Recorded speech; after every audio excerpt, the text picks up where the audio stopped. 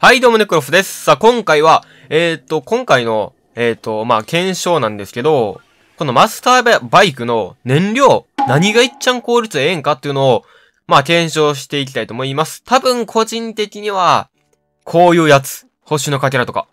うわ、やば もう一気にこれマックスになったな。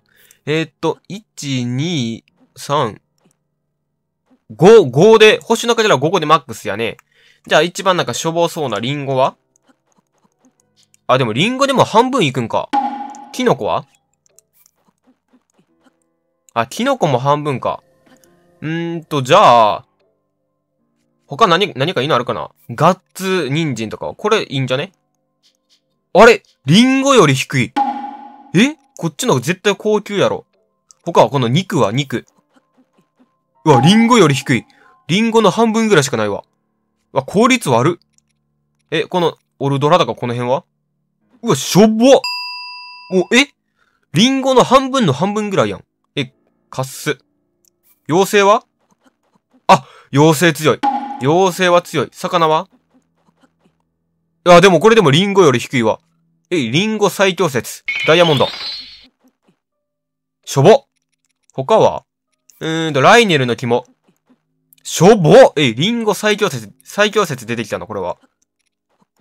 あ、ガーディアン、ガーディアンアイテムいいわ。ガーディアンアイテムこれ、でもネジでリンゴぐらいか。ああ変わらんね。この辺は変わらんか。コアが、あ、コアが強い。コアが強い。木の巻き。あ巻きの束も結構いい。リンゴ最強じゃね？まあ、一番手軽に手に入るリンゴが一番最強かな。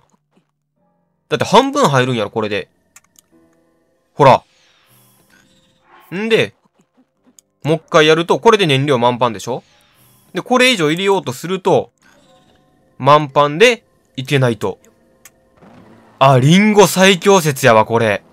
リンゴ最強やわ。じゃあ、リンゴがいっぱい手に入る場所に行こうか。リンゴが一番手に入る場所はここ。えーっと、ここ。悟り山やったかな？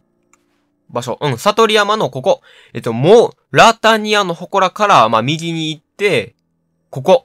ここの森に、アホほどリンゴあるから。なんかカラスおるよ。カラスおるよ。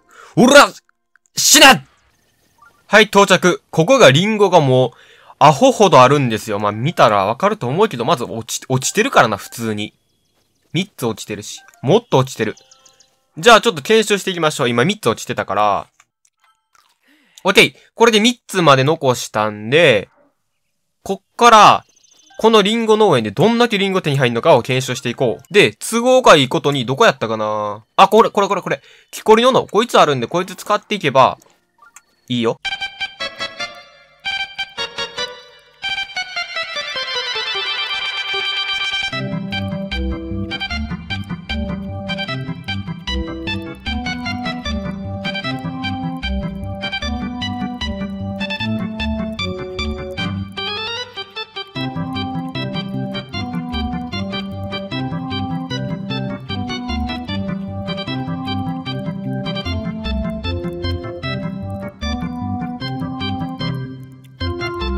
はい、えー、すべて伐採し終わりました。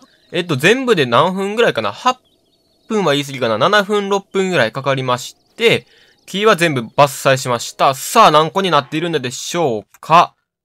気になる、気になるところですね。いくよ。せーの、ドン !156! おーめっちゃ集まるやん。156ってことは、これを3回、ちょ、待って、ま、全然違う。1、2、3、4、5、6、7回ぐらいやったら、えー、リンゴカンストするね、これは。っていうことはやで、こ、ここ、い、一体を全部伐採することによって、えっ、と、10個で、リンゴ10個でマスターバイクの燃料マックスになるっていうことは、15回。15回、マスターバイクの燃料を、その、補給できる場所っていうことやね。やば。しかもこれあの、ブラッディムーンでちゃんとあの、復活するんで。というわけで、今回の検証結果、え、マスターバイクに最も効率がいいね。効率がいい素材はリンゴ。で、リンゴが一番手に入る場所が、ここ。えっ、と、悟り山の、右のここやね。こ、こっちら辺にね、なんかリンゴの森とかいう名前の場所があるんですよ。あたあたあった。まあ、リンゴの森にもリンゴたくさんあるんですけど、こっちだと156個も集まるんで、明らかこっちの方が効率いい。うん。まあ、マスターバイクの、ね、燃料何がいいかって、えー、悩んでる人は、リンゴおすすめ。しかもリンゴって結構カンストする人も多いんじゃないかな。自分も一回カンストしまして、えー、全部打ったんですよね。3000ルビーぐらいになったんかな。で、全部打ったから、まあ今ちょっと少なかったんですけど、まあ、ハイラ、ハイラル城にもいっぱい木箱の中に入ってるし、意外とリンゴってのは200、300、400とかいっぱい持ってる人多いと思うから、えっ、ー、とまあ、ここにわざわざ補給しに込んでもリンゴいっぱいあると思うんで、マスターバイクの燃料はリンゴでや、やった方がいいよ。というわけで今回はこの辺にしたいと思います。じゃあ、次回の動画でお会いしましょう。バイバイ。